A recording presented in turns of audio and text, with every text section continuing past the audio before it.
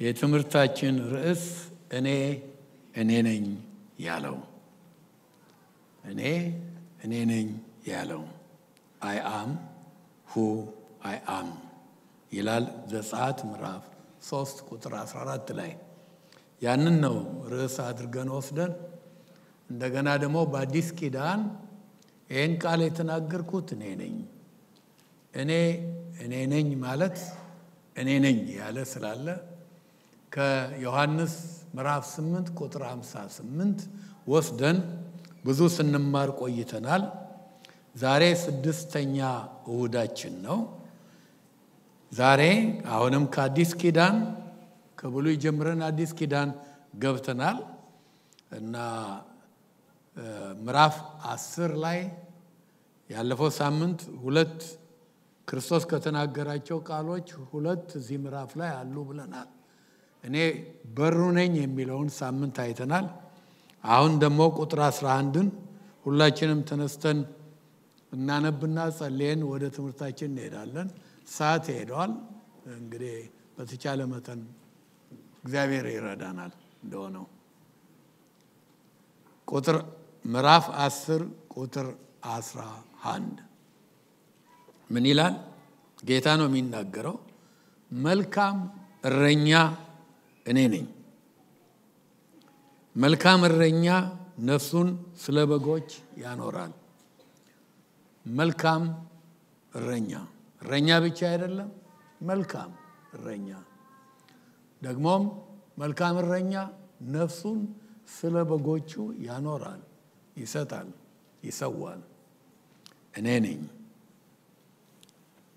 እግዚአብሔር ሆይ እናመሰግንሃለን፣ ክቡር ስለሆነው ቃልህ ጌታ ሆይ አሁን ቃልህን ስንማር እያንዳንዳችን እንድታስበን መንፈስ ቅዱስ የሚናገርንም የሚያደምጥንም የምትረዳ አንተ ነህና እግዚአብሔር ሆይ ሁላችን እንድትረዳን እጸልያለሁኝ። ጊዜውን አንተ ውሰድ፣ በኢየሱስ ክርስቶስ ስም አሜን። ትምህርታችንን ከጀመርን ስድስት ሳምንት እንደሆነ ነግሬያቸዋለሁኝ። ከስድስቱ ሳምንት ሁለቱን ሳምንት ያሳለፍነው መግቢያው ላይ ነው። የትምህርታችን መሰረት እግዚአብሔር ለሙሴ ስምህ ማን ነው? ስምህን ማን ብዬ ልንገራቸው ብሎ ሙሴ ሲጠይቅ ስሜ እኔ ነኝ። ይኸው ነው ስሜ እኔ ነኝ። የላከህ ማን ነው ካሉህ እኔ ነኝ ላከኝ በላቸው አለው። ያ የእግዚአብሔር ስም ነው። አዲስ ስም ከዚህ በፊት እንደነገርኳችሁ እግዚአብሔር ብዙ ስሞች አሉት፣ ግን ለሙሴም ለሌሎችም ሁሉ ይሄኛው ስም አዲስ ነው። የመጀመሪያው እግዚአብሔር ለሙሴ ሲናገር የተናገረውበት ቃል ዕብራይስጥ ነው። ኢዬ አሼር ኢዬ የሚል ቃል እንደሆነ ነግሬያቸዋለሁ። ይህም ደግሞ የያህዌ የሚለው ስም third person ነው እና አራት ፊደሎች ናቸው። ድምፅ ማውጣት አይቻልም ነበር መጀመሪያ originally፣ ምክንያቱም ዕብራይስጥ ድሮ vowel የለውም consonant ብቻ ነው። ከዚህ የተነሳ ያው vowel ፈልገው በኋላ ያህዌ ማለት እንደተቻለ ነግሬያቸዋለሁ። መጀመሪያ ግን ይሄው አራቱ ፊደል Tetragrammaton ይባላል እና ብቻ ነበረ ድምፅ ማውጣት አይቻልም። አሁን ከአዶናይ A ከኤሎሂም E ን ወስደው ድምፅ ሰጠ ያህዌ። ግን እስራኤላውያን ያህዌ ብለው መናገር አይችሉም። ምክንያቱም ሕጉ የእግዚአብሔርን ስም በከንቱ አትጥራ ስለሚል ያንን ፈርተው እንደገና ዘጸአት ሃያ ላይ ብቻ ሳይሆን ዘዳግም ላይም የተደገመ ሕግ ነው። ሶስት ቢሲ ላይ ደግሞ መምህራኖቻቸው ይሄን ስም ማንም እንዳይጠራ ስለተባለ ሊቀ ካህኑ በዓመት አንድ ቀን እንዳስተማርኳችሁ ወደ መቅደስ ሲገባ ምሕረት መክደኛው ላይ ደም ለመርጨት የዛን ጊዜ ብቻ ነው ያህዌ የሚል ያውም በፍርሃት በመንቀጥቀጥ ስለዛ ሁናቴ ብዙ አስተምሬያቸዋለሁኝ። ይህን ስም ስለማይጠሩ ምትክ እንደፈለጉ ብዙ ምትኮችም ጣል አድርጌላቸዋለሁኝ። ግን ትልቁ አኒሁ ነው። አኒሁ የሚለው ተተክቷል። አኒሁ ዕብራይስጥ ነው። ክርስቶስ በምድር በነበረበት ጊዜ በተናገረው ቋንቋ ግን አናሁ ነው።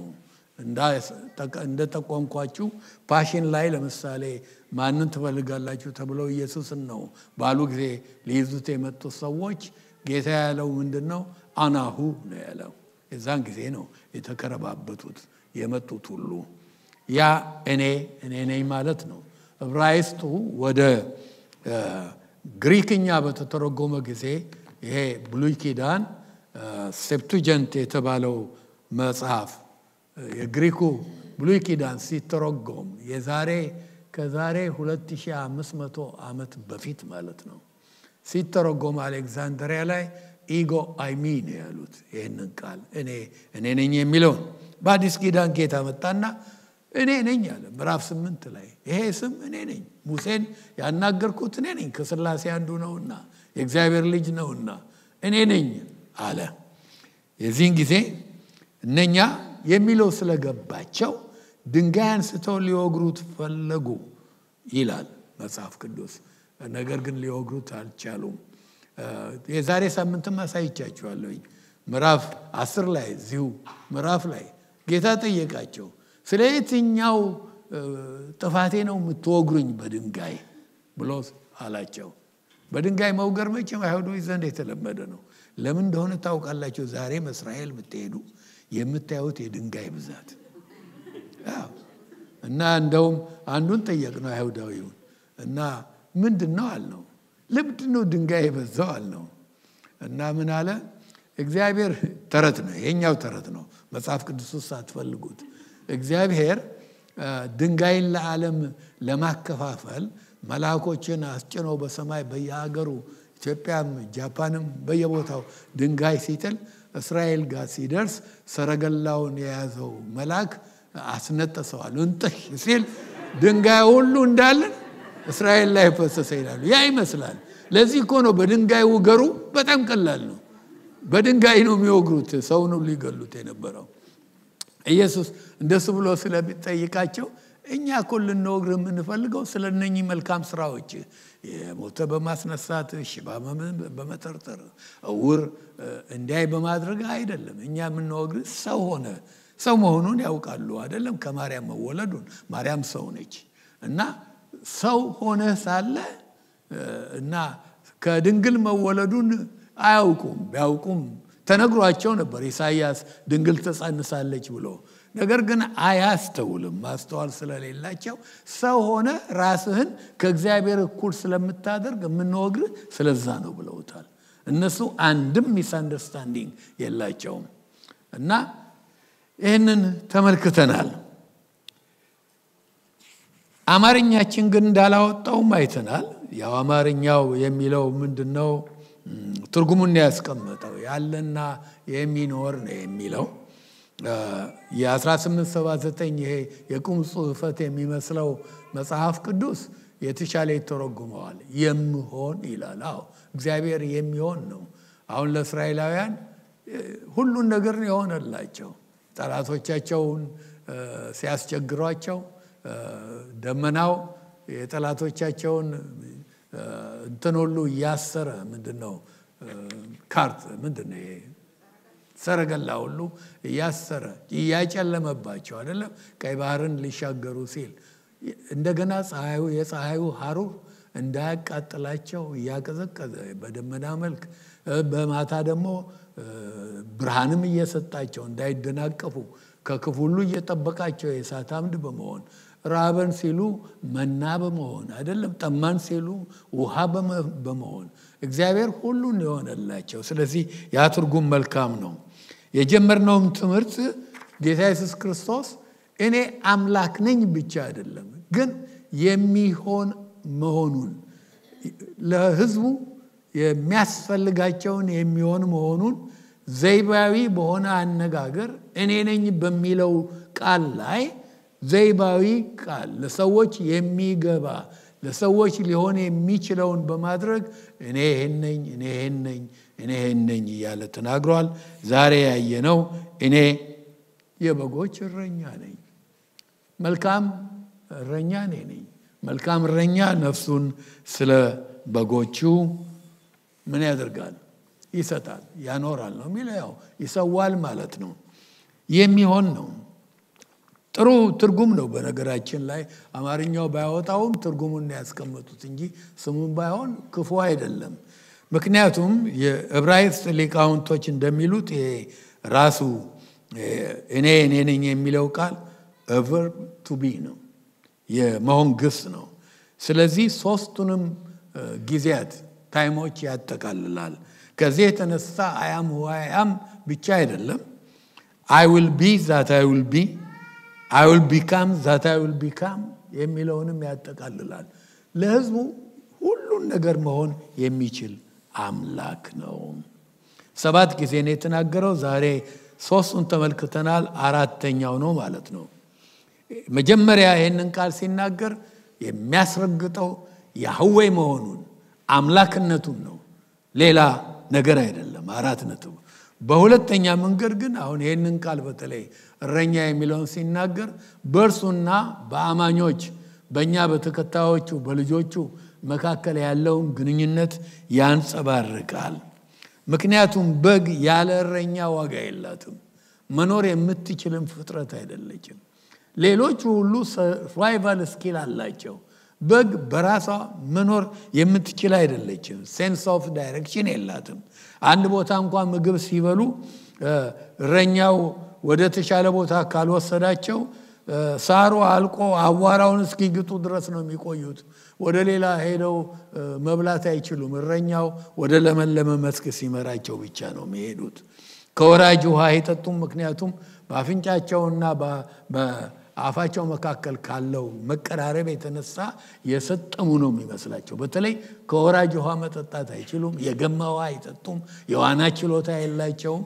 ብዙ ችግር አላቸው በጎች አይደለም እንዴ? እና የዋናው ችሎታ ከሌላቸው ደግሞ የሰጠሙ ከመሰላቸው ውሃ ውስጥ ከገቡ ካኒ ማጅን በግ ጸጉሩ ሱፍ አይደለም የሚሆነው ብዙ ስለሆነ ይሸለታሉ። አንዳንዶች አታውቁ እንደው ያ ሁሉ ይዘው መሞት ብቻ ነው። በግ ተስፋ የሌለው ነው ያለ እረኛው። እና ምን አለ? እኔ የበጎች መልካም ያውም መልካም የበጎች እረኛ ነኝ። በግ እረኛው ነው የሚጠብቃቸው ከተኩላ ከራሳቸውም አያውቁም እኮ። ለምሳሌ አንድ በግ ቀንደሽ ቀንደሽ ብላ ሄዳ ገደል ብትገባ ሌላው በግ ሁሉ ተከትሎ ነው የሚጠፋው። በግ ከራሱም እንኳን የሚጠብቅ ማን ነው? እረኛው ነው። እረኛ ይጠብቃቸዋል። እሱ ሲጠብቅ ግን ሴፍ ነው። ምንም የሚያሰጋ ነገር የለም። እንደውም አንድ ነገር ትዝ አንድ ቀን አንዲት ሴትዮ ትልቅ ቁም ነገር ተናገረች። ቤቷ ቁጭ ብላ ነው። ትልቅ ነገር አይደለም ግን የተናገረችው ቁም ነገር ነው። ቤቱ መስኮት አለው። አንድ ቢራቢሮ ቤት ውስጥ ገብታለች። ቤት ያለች ቢራቢሮ ነች። ስትሄድና መስኮቱ ላይ ታርፋለች። በመስኮቱ በኩል ከውጭ ስለሚታይ ወፍ አይታታለች። ልትበላ ቢራቢሮዋ መታ ቋ ታደርጋለች። መስታወቱን ቋ ታደርጋለች። ሴትዮዋ ምን አለች? ቢራቢሮ አይዞሽ፣ የቤት ውስጥ እስካለች ጊዜ ድረስ you're safe፣ ከእጄም ማንም አያወጣቸውም ብሏል። በእርሱ እጅ እስካለን ጊዜ ድረስ we're እስካለን ድረስ ጥጋበኛውን አላልኩኝም። እረኝነት እንግዲህ ለበጎች ራስን መስጠት ያለበት ነው። መሰጠት ያለበት ህይወት ነው። እንደውም ያለፈው ሳምንት ስንማር በሩ እኔ ነኝ የሚለውን ሳስተምራችሁ እስራኤል ውስጥ ያለውን የበግ በረት ሁለት አይነት እንደነበረ አስረድቻችሁ፣ አንደኛው ራሱ የሚዘጋና የሚከፈት በር የለውም እና በጎቹን ካስገባ በኋላ ሴፍ ከሆኑ በኋላ እረኛው ራሱ በራፉ ላይ ይተኛል። ከውስጥ ያሉትም ተቀናድሸው አይወጡም እና በሩ እሱ ነው። ከውጭ ያለው ዘሎ ያንን ማለፍና በጎቹ መብላት አይችልም። በሩ እሱ እንደሆነ ተመልክተናል። ብዙ መሰጠት ያለበት ነው የእረኝነት ሙያ። ራስን ለበጎች እስከ መስጠት ድረስ ነው። ታዲያ መጽሐፍ ቅዱስ ውስጥ ብዙ የእግዚአብሔር ሰዎች በኋላም ታላላቅ የሆኑ በግ ብቻ መጠበቅ ሳይሆን የእግዚአብሔርን ሕዝብ የጠበቁ ሁሉ ሳይቀሩ ለትላልቅ ቦታ ለትላልቅ አገልግሎት የተመረጡ ሁሉ ስራቸው እረኝነት ነበረ። እና አቤል የበጎች እረኛ ነበረ። አላነብላችሁም ጥቅሱ ብዙ ስለሆነ ዘፍጥረት አራት ሁለት ላይ ያዕቆብ የበጎች እረኛ ነበረ። የታወቀ ታሪክ ነው። የአማቱን በጎች ይጠብቅ እንደነበር ታውቃላችሁ። ዘፍጥረት 30 31 31 ላይም ከ38 እስከ 40 33 ላይ በየቦታው ታያላችሁ።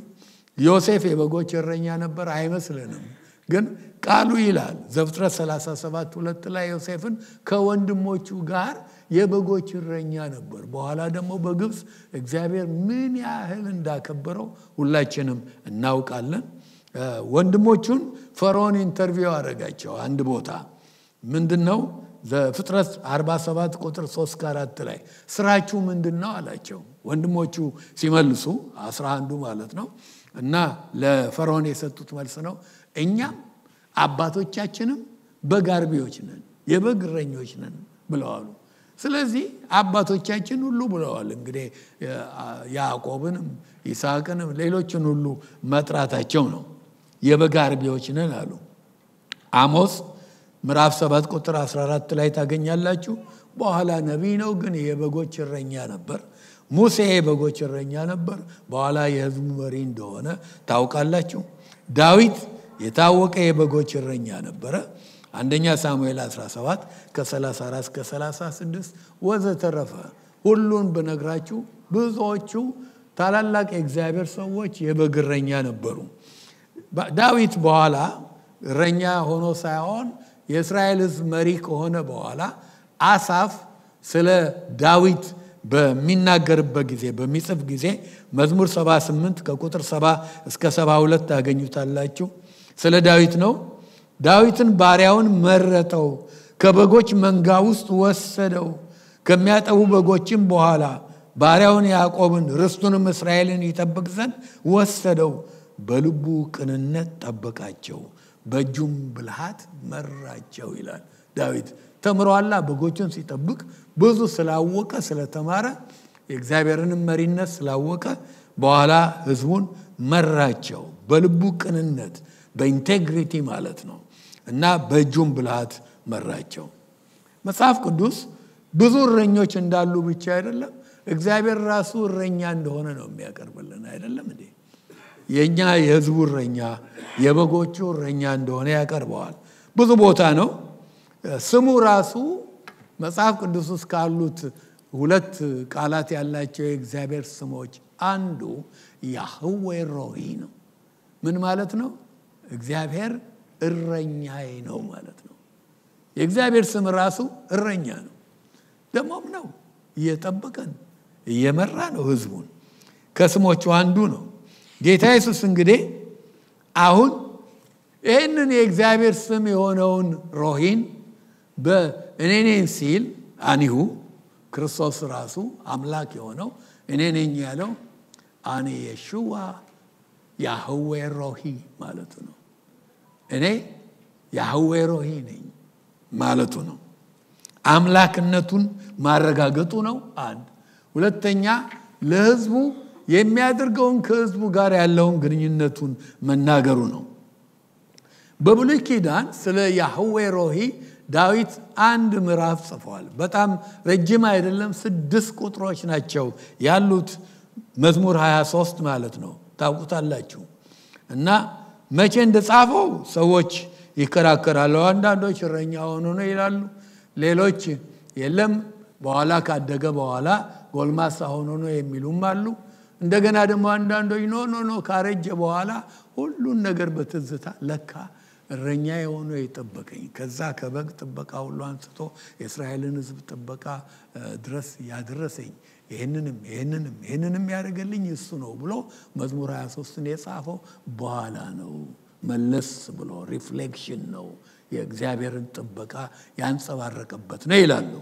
ቢሆንም ግን አስገራሚ የሆነ ምዕራፍ ነው። በዚህ በመዝሙር 23 ውስጥ አይታያችሁም፣ ግን በስውር ብዙ የእግዚአብሔር ስሞች ተጽፈዋል። የእግዚአብሔር ስሞች ተጽፈው እናይበታለን። አሳያቸዋለሁኝ እና ደግሞም የጌታ የኢየሱስ ክርስቶስንም እረኝነት እሱ ያህዌ ሮሂ ስለሆነ ያንጸባርቃል። ስለ እግዚአብሔር እረኝነት አንድ ሁለት ሶስት ጥቅሶች ላንብብና ልሂድ ወደ ኢየሱስ ክርስቶስ። ኤርሚያስ 31 እንደገና ሕዝቅኤል 34 ላይ ስለ እረኞችም ብዙ አይነት እረኞች አሉ። ስለ መልካሙ እረኛ እንደገና ስለ እግዚአብሔርም እረኝነት እናያለን። ኤርሚያስ 31 ከ10 እስከ 12 ብናነብ እግዚአብሔር እረኛ እንደሆነ ያሳያል። I think ሁለት ጥቅስ ስለሆነ የማነበው ሄደን ብናነብ ጥሩ ነው። ኤርሚያስ 31 ቁጥር ከ10 እስከ 12 አሕዛብ ሆይ የእግዚአብሔርን ቃል ስሙ፣ በሩቁም ላሉ ደሴቶች አውሩና እስራኤል Okay ኤርሚያስ 31 ከቁጥር 10 እስከ 12 ነው ያልኩት። Okay አድኖታል። በጽዮንም ተራራ ነው I think ይሄኛውን ቁጥር ስቼዋለሁኝ፣ ግን ኤርሚያስ 31 ላይ አለ። የትኛው ላይ እንደሆነ ፈልጉት። ሕዝቅኤል 34ም ላይ አለ፣ ታገኙታላችሁ። እግዚአብሔር እረኛ እንደሆነ ይናገራል። ዳዊት መዝሙር 95 ቁጥር 6 ቁጥር 7 ላይ ኑ እንስገድ፣ ለእርሱም እንገዛ፣ በእርሱ ባደረገን በእግዚአብሔር ፊት እንንበርከክ፣ እርሱ አምላካችን ነው፣ እኛ የማሰማሪያው ሕዝብ የእጁን በጎች ነን ይላል። ያህዌ ሮሂ ነው። እግዚአብሔር እረኛ እንደሆነ ነው የተናገረው። ይሄ ቃል ብዙ ቦታ ተጽፏል። ጌታ ኢየሱስ ክርስቶስ ሳይወለድ በፊት የነበረ አንድ ትንቢት ብንመለከት ትንቢቱን የተናገረው ሕዝቅኤል ነው። ሕዝቅኤል ምዕራፍ 34 ላይ ታገኙታላችሁ እና ምን ይላል? በላያቸውም ላይ አንድ እረኛ አቆማለሁ፣ እርሱም ያሰማራቸዋል። እርሱም ባሪያዬ ዳዊት ነው፣ ያሰማራቸዋል፣ እረኛም ይሆንላቸዋል። ለምን ትንቢት ነው አልኩኝ። እግዚአብሔር እረኛ መሆኑ አያከራክርም። መጽሐፍ ቅዱስ ብዙ ቦታ ታገኙታላችሁ። ቅድም እንዳልኩት ሕዝቅኤል 34 ኤርምያስ 31 የተለያዩት ቦታዎች ማንበብ ትችላላችሁ የቤታችሁ። ግን ይሄኛው ምንድን ነው የሚለው?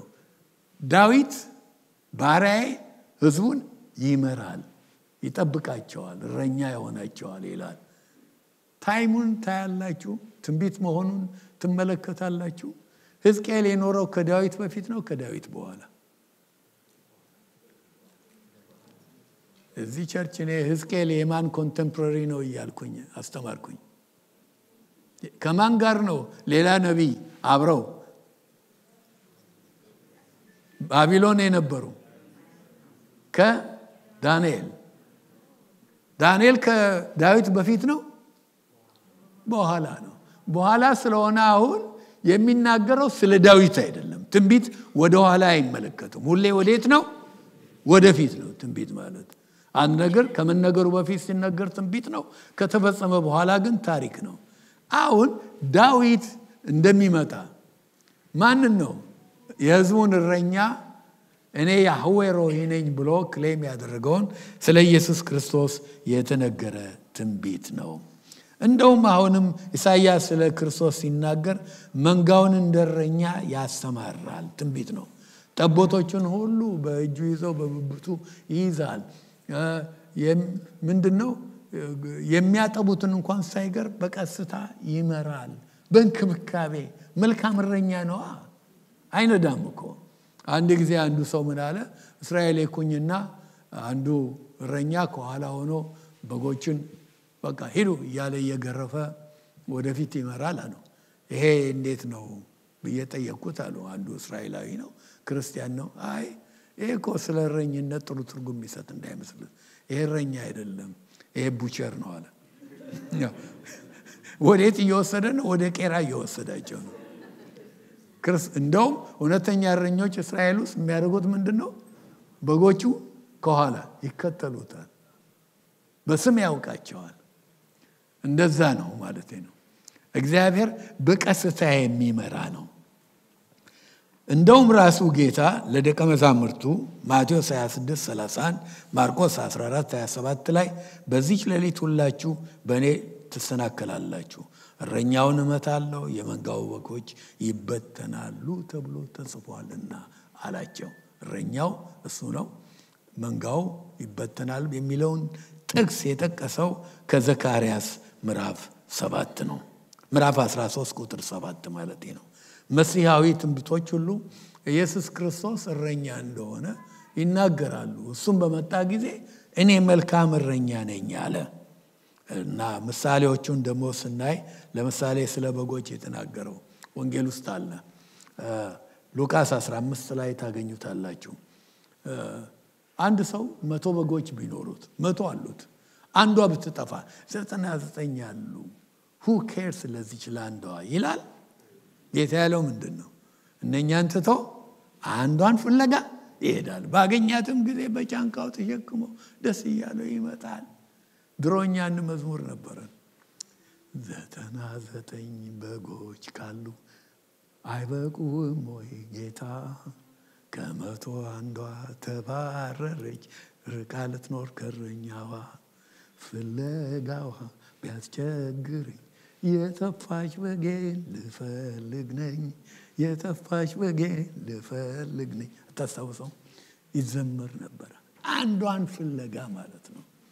እንደዛ ላይ የሚንከባከብ ጌታ ነው እና ያህዌ ሮሂ ማለት ነው። ፈተና አለኝ። ፈተና ምንድን ነው ብትሉኝ እዚሁ ምዕራፍ አስር ላይ ያለውን ጌታ እኔ የበጎች መልካም እረኛ እኔ ነኝ። መልካም እረኛ ነፍሱን ስለ በጎች ያኖራል፣ ይሰጣል፣ ይሰዋል ያለውን ተከትሎ ያሉትን ስለ መልካም እረኛነቱን የሚያሳየውን ላስተምር ወይም እኔ እኔ ነኝ የሚለውን ክሌም በማድረጉ ኢየሱስ ራሱ የሽዋ ያህዌ ሮሂ ስለሆነ መዝሙር 23ን ራሱን እንመልከት የሚል ፈተና ነበረኝ።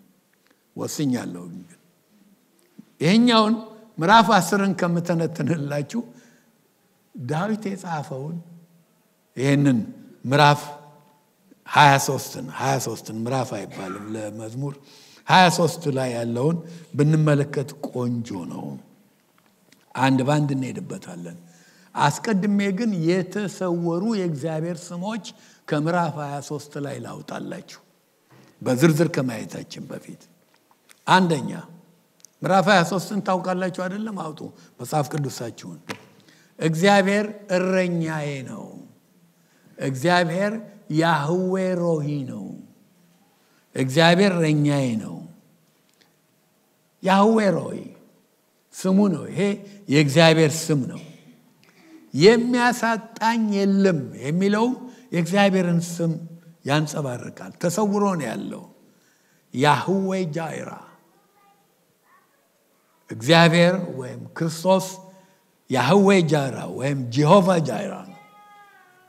Jehovah Jireh my provider እያልን ድሮ እንዘምር ነበር ፈረንጅ church ስንሄድ።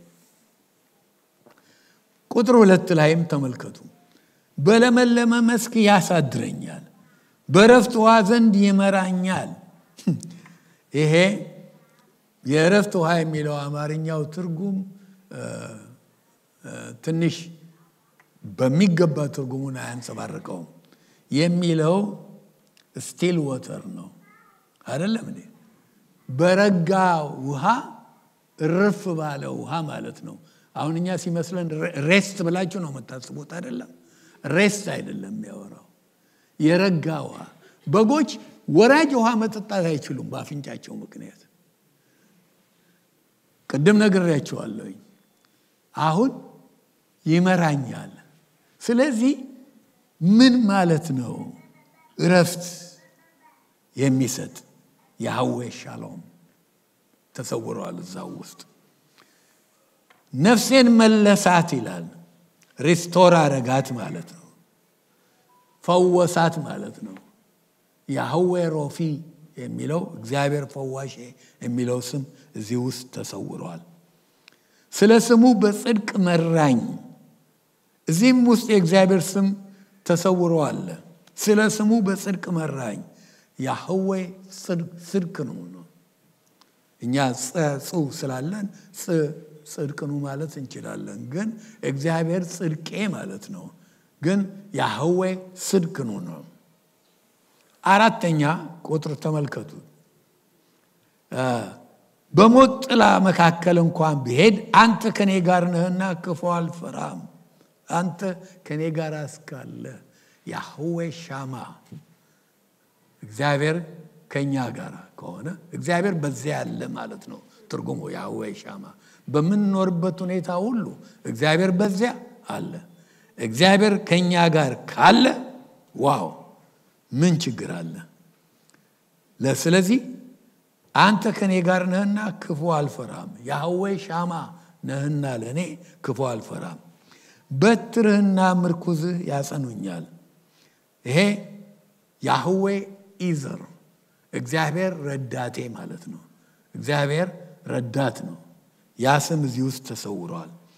ቁጥር አምስትን ይወት በፊቴ ገበታ አዘጋጀህልኝ በጠላቶቼ ፊት ይሄ ያህዌ ንሲ እንደሆነ እግዚአብሔር ዓላማችን እግዚአብሔር የድላችን አርማ ዓላማ ይዞ እንላለን አይደለም እንዴ? እግዚአብሔር ዓላማችን ነው።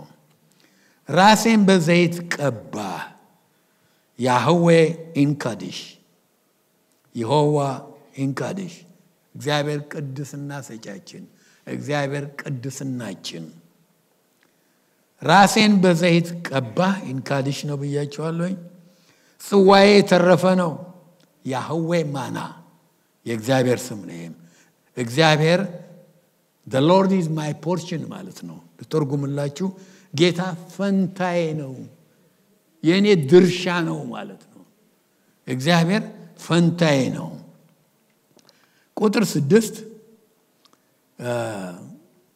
ቸርነትህ ምሕረትህ በሕይወቴ ዘመን ሁሉ ይከተሉኛል፣ በእግዚአብሔር ቤት ለዘላለም እኖራለሁ።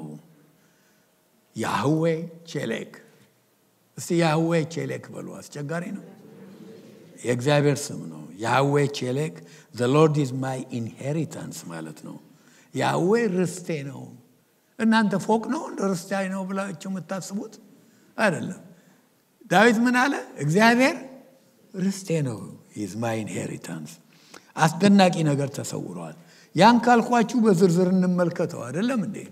ምክንያቱም ይሄ ዳዊት የጻፈው በብሉይ ለእግዚአብሔር አብ በአዲስ ኪዳንም ለክርስቶስ ነው። ምክንያቱም ክርስቶስ ያህዌ ሮሂ ነው።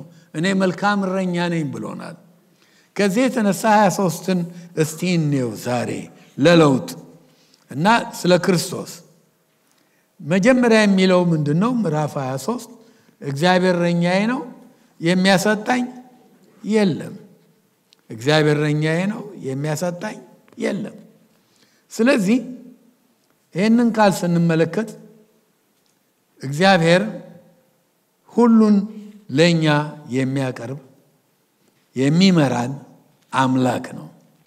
ተመልከቱ፣ ዳዊት የሚለው እግዚአብሔር እረኛ ነው አይደለም፣ እረኛዬ እረኛ ነው በማለትና የኔ እረኛዬ በማለት መካከል ልዩነት አለ። ዳዊት ያውቀዋል እግዚአብሔርን ምሪት ከልጅነቱ ጀምሮ አንበሳ፣ ድብ፣ አውሬ ሲመጣ ሁሉ እንዴት እንደጠበቀው እንዴት እንዳስጣለው። ዳዊት እኮ ጎልያድን ያሸነፈው እግዚአብሔር ከዚህ በፊት በልጅነቱ ያደረገው ላይ ተመክቶ ነው አይደለም እንዴ? እግዚአብሔር ካለ ከኔ ጋር እግዚአብሔር እረኛዬ ነው፣ ለገዳይ ለአውሬ አይሰጠኝም፣ የግሌ ነው ይላል። እና ይሄ ደግሞ በእውነት እንደውም አንድ ታሪክ አስታውሳለሁኝ። ማን እንደጻፈው መቼ እንደተባለ አይታወቅም፣ ግን በቤተ ክርስቲያን በፈረንጆች ሁሉ የሚታወቅ ታሪክ ነው። አንድ ጊዜ ሁለት ሰባኮች ተጠርተው እንዲናገሩ ነው የተጠሩት። ሁለቱም አንድ ጥቅስ ይዘው መጡ። ይሄ ይሆናል እኔ ገጥሞኛል። ሐዋሳ አንዴ ተጋበዝኩና እና አሰብኩ ጸልዬ ጥቅስ ይዤ ከጳውሎስ መልእክት ወደ ጢሞቴዎስ ሰዎች ላስተምር ለአንድ ሳምንት ለአገልጋዮች ነው። ከእኔ ቀጥሎ የሚያስተምረው ማሙሻ ነበር። ማሙሻም እኔ ማስተምረውን ጥቅስ ይዘው መጣ። ምን ሆነ? አሁን እነኚህ ሰዎች ይሆናል ልላቸው ነው፣ በእኔም ደርሰዋል። ሰባኪው ተነሳና መዝሙር 23ን አይ ድምፅ፣ አይ የንግግር ችሎታ፣ አቤት ቃላት፣ አቤት ዝላይ፣ አቤት ጩኸት በቃ ከፍ ዝቅ እያለ ሰው ሁሉ ተነስቶ ያጨበጭባል፣ ያብዳል። ከመቀመጫው የማይነሳ የለም። ጉባኤውን ኤሌክትሪፋይ ያደረገው አዎ የእሱ ተራ ላይ ወጣቱ። ቀጥሎ የሚሰብኩት ያው እሳቸውም ያዘጋጁት ከመዝሙር 23 ነበር። ለብዙ ጊዜም አይናገሩም፣ ድምፃቸውም ደካማ ነው። አንድ ሽማግሌ መጡና እንደማን ነው እግዚአብሔር እረኛዬ ነው እያሉ ህዝቡ ጸጥ፣ ጭብጨባ የለ፣ ጩኸት የለ፣ ጭፈራ የለ። ግን ቀለጠ። እምባ በእምባ ሰው አለቀሰ። ያ ወጣት ሰባኪ I think መንፈስ ቅዱስ ተናገረው መሰለኝ ልዩነቱን ስላወቀ፣ ቆይ እኔ አንድ ነገር የምናገረው አለኝ። መጣና እኔ ስለ መዝሙረ ዳዊት በደንብ አጥንቻለሁ አውቃለሁ። ስለ መዝሙረ ዳዊት አውቃለሁ እኚህ አባታችን ግን እረኛውን ያውቁታል። ልዩነቱ ይሄ ነው። እግዚአብሔር እረኛዬ ነው የኔ በግል ማወቅ ልክ እንደዚህ ሰው ማለቴ ነው። ልዩነት አለው። personal ነው ወይ እግዚአብሔር ለእናንተ? የሚያሳዝነው ይህንን ክፍል መዝሙረ ዳዊትን እግዚአብሔር እረኛቸው ያልሆነ ሁሉ የሚጠቅሱት ነው። ስሞት ይነበብልኝ የሚሉት የሚሞቱ ሰዎች ሁሉ መዝሙር 23ን ወይንም ደግሞ አንዳንዱን ነው። መቃብር ቦታ ሄዳችሁ ከምታዩት ጥቅስ አብዛኛው ሃይማኖቴን ጠብቅ ያለው ሩጫዬን ፈጽም ያለውና መዝሙር 23 ነው። እውነት ነው እውነት ነው ወይ? በእውነት እግዚአብሔር እረኛቸው ነበረ? እና ብዙዎች የሚጠቅሱት በዚህ ነው። ይኸው አንድ ጊዜ የዛሬ አምሳ ሰባት ዓመት ሼቬ የሚባል ከተማ ጅማ ኮንፍራንስ ነበር። Finnish Mission ነው የተዘጋጀው። ሄድን። ከአዲስ አበባ ብዙዎች አገልጋዮች ነበሩ ከኛ ጋር። በሕይወት ያሉ የሌሉም አሁን። እና ሄድን። እና አንዱ አሁን ዳላስ አለ። ስሙን አልነግራችሁም። አንድ ጥሩ አገልጋይ ታውቀዋለህ አንተ። እና ተነሳና የማያምኑትን ሰዎች ሰብስቦ ኑ ኑ ኑ ኑ ላስተምራችሁ እንጸልይ። አባታችን ሆይ በሉ አባታችን ሆይ ይላለዋል ኖ ኖ ኖ ኖ ኖ ኖ አለ ተነሳና ሮይነር። እንዴ? አንተ ገሌ ያለው ስሙን ጠርቶ። ልክ አይደለም። እነርሱ ምን አባት አላቸው አለ። እውነት እኮ ነው። አባታችን ሆይ ማለት የሚችል ልጅ የሆነ ነው። አይደለም እንዴ? ብዙ ሰዎች ልክ እንደዛው አቢውስ ከሚያደርጉት ምዕራፍ አንዱ መዝሙር 23 ነው። እግዚአብሔር እረኛዬ ነው ይላሉ ግን ነው ወይ ነው? የሚያሳጣኝ የለም። ይሄ ምንድን ነው የሚያሳየው? ቅድም ተነጋግረናል። ያዌ ምንድን ነው ብለናል? ያሬ ለአማርኛ እና ጀሆቫ ጃራ ነው። ስለዚህ የሚያሳጣኝ የለም። እዚህ ቦታ ያስፈልጋችኋል ብሎ የሚያስብልን እንደሆነ ስለ እግዚአብሔር መግቦት መግቦተ እግዚአብሔር ፕሮቪደንስ ነው የሚናገረው።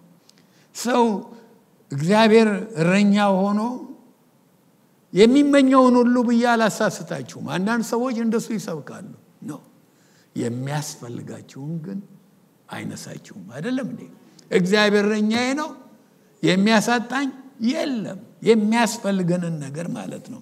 ይው በኒድና በዋንት በምንመኘውና በሚያስፈልገን መካከል ልዩነት መኖሩን አንርሳ። ለምሳሌ ያለ አሁን እኔ ለመኖር ምግብ ያስፈልገኛል። ግዴታ ነው አይደለም እንዴ? ግን Cheese Factory Cheesecake Factory ሄጄ መብላት ያስፈልገኛል? Pappadeaux መሄድ ያስፈልገኛል? ምንድን ይሄ ደግሞ ኢጣሊያን ብዙ ጊዜ የምንሄድበት Olive Garden መሄድ ያስፈልገኝ። even Burger King። ያ ምኞት ነው ቅንጦት ነው ማለት ነው። ያለው የሚያሳጣን የለም። በእውነት ሰው በእግዚአብሔር ተማምኖ የሚያጣው የለም። ካጣ ቤዚክ የሆነውን ነገር ችግር አለ። እረኛው እንደሆነ እንዳልሆነ መመርመር ይኖረዋል። ቃሉ ጻድቅ ሲራብ ዘሩም እህል ሲለምን አላየውም ይላል እግዚአብሔር የሚያሳጣን ነገር የለም። ጳውሎስ ለሮሜ ሰዎች ሲጽፍላቸው ምዕራፍ 8 ቁጥር 32 ላይ እግዚአብሔር አንድያ ልጁን እንኳን ከሰጠን እንግዲያ ሌላውን ነገር እንዲሁ እንዴት አይሰጠንም? የሚያስፈልገን ከሆነ እግዚአብሔር የሚነሳን ነገር የለም። ይህንን እኔ አውቃለሁኝ። መልካም እረኛ ነው ለልጆቻችን አስበን እንደምናደርገው።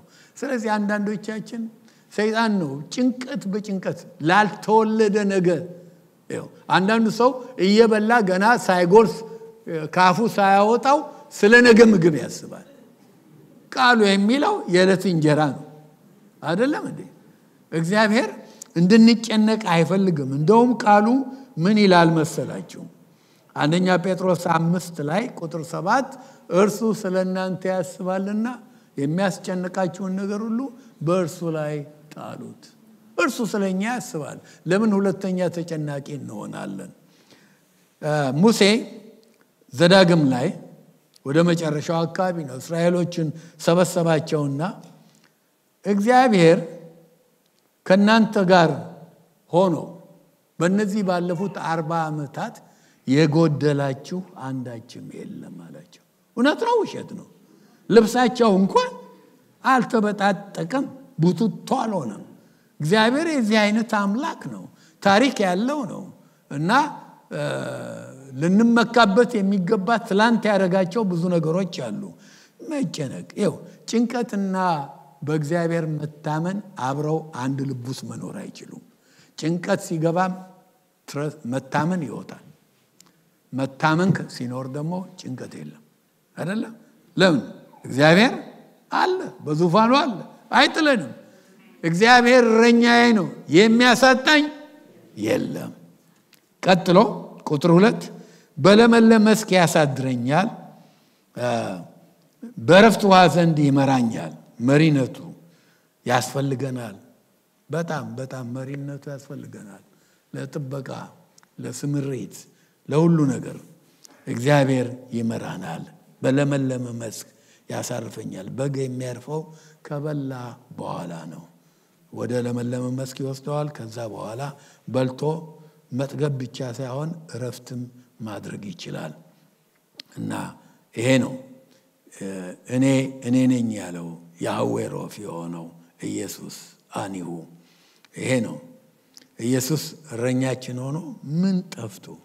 አንዳንዴ ግን ኢየሱስ ላይ ቁጭ ብለን አይናችንን አፍጠን ሌላ ሌላ ነገር እንመኛለን አንድ ጊዜ ልጆች ሆነን አትጠቀሙበት እናንተ። ግን ክርክር መጣ መበሻሸቅ መጣ። አንድ የኢየሱስ ስዕል አለ አይደለም በጎች እየመራ ነው ይከተሉታል ቀና ብለው ሁሉም ያዩታል። አንዷን ደግሞ ግልገሏን ይዘዋል እና ግልገሏን ተሸክሞ አለ። ክርክሩ ምንድን ነው ብትሉ እኔ ይህን እኔ እኔ አንዳንዱ ብዙ ሁሉም እኔ ይችን ነኝ እና አንተ እዚህ ጋ ነህ እያሉ ያበጭቆ ጀመሩ መቼ መርካቶ ልጅ ነኝ እና ነገር አላጣም። አይ እዚህ ጋ ሆኜ እኔ አይን እኮ ያለው እሱ ላይ ነው መሬ ላይ። እቺ ግን እዚህ ነኝ እኔ ነኝ የምትሏት በግ የምታየው ወዴት ነው አልኩኝ። እና አንዳንዴ ሳምንት አልነገርኳችሁም ያቺ አሳ ፈረንጆች እንደሚሉት ሁል ጊዜ the grass is greener on the other side እንደሚሉት አሳው አየች እና ላሞችም ሌሎችም በጎችም ሁሉ የለመለመ መስክ ላይ ሲበሉ አይታ እኔ ብቻ እዚህ ውሃ ውስጥ ይሰለቻል፣ ይሄ ክርስትና ይሰለቻል እንደሚሉት አይነት እና እስቲ ልውጥ አለች እና ተንደርድራ ዘላ ወጣች። አሳ ከባህር ከወጣች ምን ኖረች? እና ኑሮ ማለት ለእኛ ኢየሱስ ነው፣ በእቅፉ ብቻ ነው።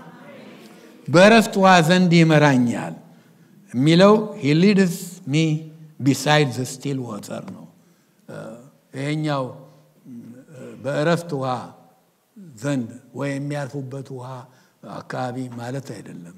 still water በጎች የረጋ ጸጥ ያለ ውሃ ካልሆነ በስተቀር አይጠጡም። አፍንጫቸው ቅድም ነግሬያቸዋለሁኝ፣ ለአፋቸው ቅርብ ነው። የሰጠሙ ይመስላቸዋል። ከተደናገጡ ውሃን አያውቁም። ውሃ ውስጥ ከገቡ ጸጉራቸው በሙሉ ውሃ ይዛል፣ የበለጠ ያሰጥማቸዋል። ችግራቸው ብዙ ነው። የገማ ውሃ አይጠጡም። የበግ ችግር ብዙ ነው። ግን እረኛው ይህን ሁሉ ስለሚያውቅ በሚገባ ይጠነቀቅላቸዋል። የረጋ ውሃ ጋ ይወስዳቸዋል፣ ያጠጣቸዋል። ነፍሴን መለሳት፣ ስለ ስሙም በጽድቅ መራኝ። መለሳት የሚለው restore አደረጋት ማለቱ እንደሆነ ነግሬያቸዋለሁኝ። በግ ከወደቀ ወይንም አንድ ችግር ውስጥ ከገባ በራሱ መውጣት አያውቅም። እረኛው ነው ከገባበት ሁናቴ ውስጥ ማውጣት፣ ማደስ፣ ወደ ነበረበት መመለስ የሚችለው። ልክ እንደዚሁ መልካም እረኛ ብንደክም መልሶ እንደገና ያነቃቃናል። revive ራሱ revival ማለት እኮ እንደገና መነቃቃት ማለት ነው። re ሁል ጊዜ ቀድሞ የሚሆነው word እና የሚለው እንደገና ማለት ነው። አጌን ማለት ነው። እንደ ድሮ ድሮ እንደነበረ ህይወት ማድረግ የሚችል ክርስቶስ ብቻ ነው እረኛችን። የነበረህን ህይወት ያን የጋለ ህይወት እያስታወስክ ከማልቀስ እረኛውን ብትፈቅድለት መልሶ ማደስ ይችላል። ብንስት ይመልሰናል፣ ብንወድቅ እጁን ዘርግቶ ያነሳናል። ይህንን አድርጓል። ብዙ ምስክርነት አለው። ኤልያስ ተስፋ ቆረጠ፣ አገልጋይ ነበር እና ብሞትስ ብትገለኝ ብሎ ነበር። ግን ጌታ ሁሉን ነገር የሚያስፈልገውን ስጋውንም አሳረፈ፣ ሆዱንም እንዲበላ አድርጎ እንቅልፍም እንዲጠግብ አድርጎ ከዛ በኋላ እንደገና ብዙ ብዙ ምትሄደው አለ ሩጥ አለው አይደለም ወደ ተራራው በበላውና ባረፈው አርባ ቀን እንደሄደ ታውቃላችሁ። በአዲስ ኪዳንም I go fishing ብሎ ጴጥሮስ ተስፋ ቆረጠ፣ በቃ ሄደ። ግን ክርስቶስ ተወ። ያንን ሶስት ጊዜ የካደውን መጣ አይደለም። ዮሐንስ ወንጌል ምዕራፍ 21 ላይ ነው ሀያ ላይ ታገኙታላችሁ። መጣና ሶስቴ የካደው ሶስቴ መናዘዝ ነበረበት አይደለም እንዴ? ስሞን ጴጥሮስ ከነኚህ ይልቅ ትወደኛለህን አለውና አዎን ብሎ ያው እንዳደሰው ታውቃላችሁ ማለቴ ነው። ስለ ስሙ በጽድቅ መራኝ፣ በቀናው ጎዳና በጽድቅ መንገድ ማለት ነው። እግዚአብሔር ጽድቃችን ነው፣ እንክብካቤ ያደርጋል። ይህን ሁሉ የሚያደርገው ስለ ስሙ ነው። okay ቶሎ ቶሎ ልሂድ። ቁጥር አራት በሞት ጥላ እንኳን ብሄድ አንተ ከኔ ጋር ነህና ክፉን አልፈራም፣ በትርህና ምርኩዝህ እነርሱ ያጽናኑኛል።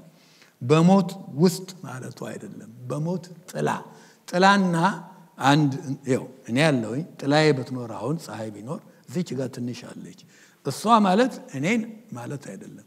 እሷን ተዋውቆ ተስፋን አውቃለሁ ማለት አይቻልም። አይደለም እንዴ?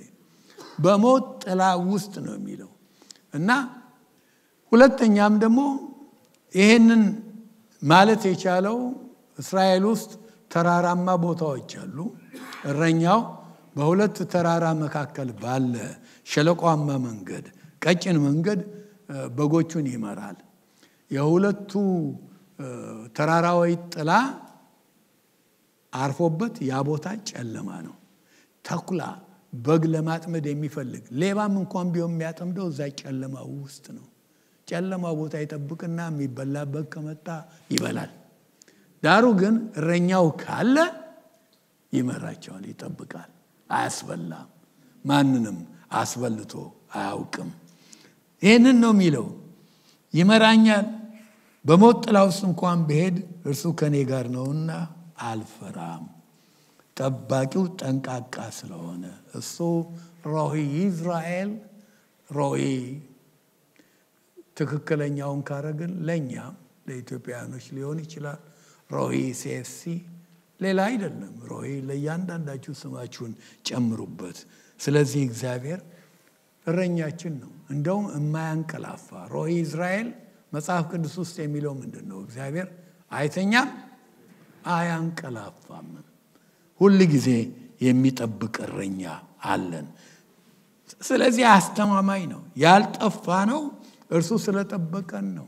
እንደ ጠላት ሀሳብ ቢሆንማ የት ነበር? እዚህም መገኘት አንችልም። መሰረተ ክርስቶስ ኳየር አንድ መዝሙር ነበራቸው። እንደ ጠላት ሀሳብ ቢሆን እስከ ዛሬ ባልቆምን፣ ግን የኢየሱስ በለጠና እንዴት ነበር ታሜ? በድል ቆምን እንደገና አይደለም። በድል ቆምን እንደገና። ጠላት ያሰበው ሳይሆን እርሱ ያሰበው እረኛችን ስለሚበልጥ ጠበቀን። ይሄ እኮ ነው እና የሚጎዳን ነገር የለም። ስንት ሙከራ ነበረ። እናንተን የነካ የዓይኔን ብሌን እንደሚነካ ነው ስላለ እግዚአብሔር እየጠበቀን ነው እስከ ዛሬ ድረስ ያለ ነው። እንደውም ዳዊት ሁለት ነገሮች ይናገራል።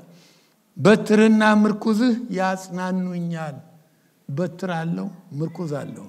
በነገራችን ላይ እረኛ ወንጭፍም አለው። ከሩቅም መምታት ይችላል። አይደለም እንዴ? ከሩቁ ገና ሳይታሰብ አንዱ ሲመኝም ወዲያው መምታት ይችላል። እግዚአብሔር ጌታ ይህን ማድረግ ይችላል። ግን በትርህና ምርኩዝህ እነኚህ ሁለቱ ነገሮች የሚጠቅሙን ለምንድን ነው ብትሉ በትር የሚለው ላዩ ላይ መያዣው ላይ ቀጭን ነው፣ ወደ ታች ጫፉ ላይ ወፈር የሚል የሚል ነው። almost እንደ baseball አይነት አለው፣ ግን እንደ baseball ረጅም ወፍራም ነው ከመካከል ጀምሮ ያኛው ወደ ጫፉ ላይ ደህና አናቱን ሲለው በዛ ጠላት ገደል እንዲገባ ነው። ያን አይነት ነው። እነኚህ እስካሉ በሱ እጅ እነኚህ እስካሉ ድረስ እጽናናለሁ። በትር የሚለው ስዕልም ላይ አንዳንድ ቦታ የኢየሱስን ስዕል ስታዩ ያቺ ቆልመም ያለ ዣንጥላ የምትመስል በትር ምርኩዝ እሷ ነች። ምርኩዝ እሷ ነች። ግን ትልቅ ስራ አላት። ሁለቱ ያጽናኑኛል። በትሩ ያ በላው ተስፋን አገኘው ገሌን አገኘው ብሎ ሲመጣ አናቱን ይለዋል በዛ። ስለዚህ እሱ ስላለ ያጸኑኛል፣ ያጽናኑኛል። ያኛውስ ዘንጉ ለምን ይጠቅማል? ምርኩዙ ምርኩዙ በግ አንዳንዴ ጥሻ ውስጥ ትገባለች። አውቃቸዋል። ጥሻ ውስጥ ትገባና ትብትብ ትላለች። በራሷ መውጣት አትችልም። እንዴት ነው የሚያወጣት? ያንን ዘንጉን የወረውርና ዣንጥላ የመሰለኝ ነገር አላት አይደለም? አንገቷን ይዝና ነይ መንጭቆ ያወጣታል። እነኚህ ስላሉት ያጽናኑኛል። በእውነት እግዚአብሔር እየጠበቀን እኮ ነው። ከራሳችንም ብያችኋለኝ፣ እየጠበቀን ነው። አለበለዚያማ ስንት ችግር አለ። ትንሽ ልቀጥል። ሁለት ቁጥር ቀረኝ። አምስተኛ በፊት ገበታ አዘጋጀልኝ፣ በጠላቶቼ ፊት ለፊት ራሴን በዘይት ቀባ፣ ጽዋዬም የተረፈ ነው። ስለ ገበታው እንነጋገር ቶሎ ቶሎ ለማሳጠር እና ገበታ አዘጋጀልኝ፣ የሚበላ የለመለመ መስክ ሁሉ ነገር እግዚአብሔር ጠላት እያየው እያየኩ እናንተን የሚጠሉ እናንተን ያልወደዱ ክንውናችሁን ያልፈለጉ ሊያደናቀፋችሁም የሞከሩ ሁሉ እያዩ እግዚአብሔር በረከት በበረከት ሊያደርጋችሁ ይችላል። ራሴን በዘይት ቀባ። ይሄ ለምን ያስፈልግ ይመስላችኋል? በጎች ይቆስላሉ። ዘይት የቆሰለ ነገር የሚነካ ነው። ቁስል ቃሉም ይናገራል እኮ ቆስሏል ይላል፣ አልለዘበም በዘይትም ይላል እና ዘይት መድኃኒት ነው እና በጎች ደግሞ አንዳንዴ ሳይወዱ ይቆስላሉ ሲሄዱ አንዳንድ ነገር ጥሻው ምናምኑ ይነካቸውና ጭንቅላታቸው ይቆስላል። አንዳንዴ ደግሞ ወንድሞቻቸው ሳያውቁ ሲሄዱ ሲጋፉ በቀንዳቸው ይወጓቸዋል፣ ይቆስላሉ። ሌላ ጊዜ ደግሞ ነገረኛም በግ አለ ታውቃላችሁ። በግ ሲዋጋ ያያችሁ ስንት ናችሁ? በግ ወደ ኋላ ሳይሄድ አይዋጋ። ወንድሞቻችሁን የምትወጉ ተጠንቀቁ። ባክስ ላይ ሳታደርጉ ከእግዚአብሔር ሀሳብ ሳትወጡ ማንንም መውጋት አይቻልም። በግ ይሄው ነው፣ ወደ ኋላ ሄዶ ነው የሚዋጋው እና ይወጓል። እንደዚህ አይነትም አለ እኮ አይ ድረስ ነው እንጂ እኮ ጋሽ ማን ናቸው አይደለም ጋሽ ረጋሳ ያሉ ድሮ ልጆች ሆነን ከኛ ትልቅ የሆኑ ናቸው። ጋሽ ረጋሳ ማለት የሚነግሩን ነበር። አንዳንዴ ከክርስቲያን መካከል እኮ ክፉ ለመስራት ሰይጣን ለሰይጣን ሀሳባቸውንም ራሳቸውንም ምላሳቸውንም ሁሉን የሚያውሱ ሰዎች አሉ። ሲናገሩ ሲያስጠነቅቁ ምን አሉ? ያኔ ሲያስተምሩን ልጆች ሆነ ዛፍ ቆራጭ እንዴት ዛፍ እንደሚቆርጥ ታውቃላችሁ አሉ። ካላወቃቸዋል። ዛፍ ቆራጭ ዛፍ መካከል ነው የሚሄደው። ዛፍ ለመቁረጥ መጀመሪያ ሄዶ ጠመም ያለውን ዛፍ ይመለከታል አለ። ጠማማውን ዛፍ ሲያገኝ ይሄ ነው የሚያስፈልገኝ ብሎ ይቆርጣል አሉ። ጠማማ እንዲህ ያለ ያለዋል አይደለም። እና ያኔ መጥረቢያ እንደዚህ እንዳሁኑ በደንብ አይሰራም። የዚች አይነት ካለችው ባላገር ካያችሁ የሚያጎርሳት ስለቷን ውስጥ ነው። ከዛ አለ ይሄው ከዛፎች መካከል ወጥቶ በጠማማው እንጨት ወንድሞችን ይጨርሳል አለ አሉ። ዛሬም በቤተ ክርስቲያን ሳይቀር ሰይጣን የሚለመልማቸው ወንድሞቻቸውን ለመጨፍጨፍ የሚጠቀምባቸዋሉ። እህቶቻቸውን ለመጨፍጨፍ እና ራሴን በዘይት ቀባ። ዘይቱን አልጨረስኩም። ምን ያደርጋል? ቆስለዋል አይደለም? ብዙ ቁስል አለ በተለያየ ምክንያት እና ይቆምና እረኛው የቆሰሉትን እያየ ዘይት ጠብ ዘይት ጠብ ሲሄዱ ዘይት ጠብ ያደርግባቸዋል። ቁስላቸው ይፈወሳል። ራሴን በዘይት ቀባ። በጣም ደስ ይላል። የሚቀባ ቁስላችንን ሁሉ የሚያብስ ጌታ አለን ማለት ነው እና ይሄ እረኛ አኒሁ ያህዌ የሆነው የሽዋ ያህዌ ሮሂ ይህን ሁሉ ያደርግልናል። በዘይት ቀባ። okay የተውኩት የመጨረሻው ጽዋዬ የተረፈ ነው የሚለውን አልተናገርኩም። ጽዋዬ የተረፈ ነው የሚለው በጎች የወራጅ ውሃ አይጠጡም ብያቸዋለሁኝ እና ስለዚህ አንዳንድ ጊዜ በእስራኤል ምድር ምን ያደርጉላቸዋል? ከድንጋይ የተሰራ እንደ ገበታ ያለ ነገር አለ። ውሃውን ያመጣና ሁል ጊዜ እንዲጠጡ ያደርግላቸዋል። ሌሎቹ መጠጣት ይችላሉ፣ ወንዝ ሄደው ከወራጅ እና እዛ ገበታ ላይ ከድንጋይ የተሰራ ላይ በቃ ሁል ጊዜ ውሃ አለ። በፈለጉ ጊዜ መጠጣት ይችላሉ። እንደውም ሞልቶ ተርፎ ይፈሳል። አይደለም እንዴ? በቃ በረከቱ ሞልቷል። ጽዋዬ ሙሉ ነው። ድሮ ፈሷል ምን ነበር? ከጌታ ጋር ሆነ ሁሉ ሙሉ ነው። የመጨረሻው ቁጥር ጥቂት ሰዓት ነው የሄደው። አይዟችሁ one o'clock ነው፣ አምስት ደቂቃ ነው ያለፈው። ቸርነትና ምሕረት በሕይወት ዘመኔ ሁሉ ይከተሉኛል፣ በእግዚአብሔር ቤት ለዘላለም እኖራለሁ። ስለዚህ ተስፋ ሳልቆርጥ እከተለዋለሁ ማለቱ ነው። ከቤቱ ሊያወጣን የሚችል የለም። እግዚአብሔር ቤት ውስጥ ለዘላለም እኖራለሁ። ቃሉን አንዴ ልድገምላችሁ። መልካም እረኛ እኔ ነኝ። መልካም እረኛ ነፍሱን ለበጎቹ ያኖራል፣ ስለ በጎቹ ብሎ ይሰጣል። ብሉይ ኪዳን ልውሰዳችሁ። ያህዌ ሮሂ ነው እግዚአብሔር ብያቸዋለሁ። በጊቷ እኮ በብሉይ ኪዳን የምትሰዋው ለእረኛው ነበር አይደለም? ያህዌ ሮሂ። አሁን በጌታ ያየነው ግን እረኛው ለበጊቱ ተሰዋላት አይደለም? እረኛው ለበጊቱ ተሰዋላት። እንዲህ ያለውን ፈቃር አምላክ ያውም ብሉይን ገልብጦ በግ ለእግዚአብሔር ነበር የሚሰዋ። አሁን አምላክ የሆነው ጌታ ለእኛ ለበጎቹ ሲሰዋ ይሄ አስደናቂ ፍቅር ነው። ምን አይነት ፍቅር ነው! ድሮ አንድ መዝሙር ነበር፣ አስደናቂ ፍቅር ነው። ይህን እረኛ ማያውቃለ በእውነት እኔ እረኛዬ ስላረኩት ደስ ይለኛል። ከዳዊት ጋር እግዚአብሔር እረኛዬ ነው ማለት ችያለሁኝ። እግዚአብሔር ይመስገን። መልካም ከሰዓት በኋላ ተባረኩ። እግዚአብሔር ይባርካችሁ።